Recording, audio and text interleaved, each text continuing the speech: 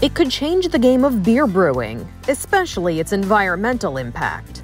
Also wir haben jetzt ein We've invented a completely new product. Beer powder like this is the first in the world. Yes, some German brewers have created beer powder.